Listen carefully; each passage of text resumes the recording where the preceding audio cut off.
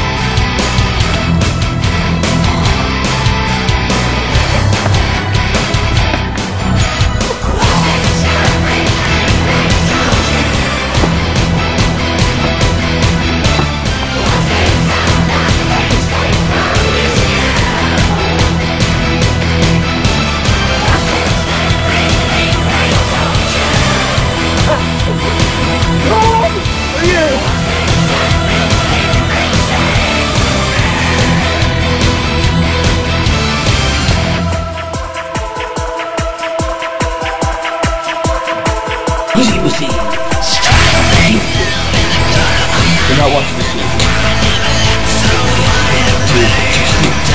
This movie.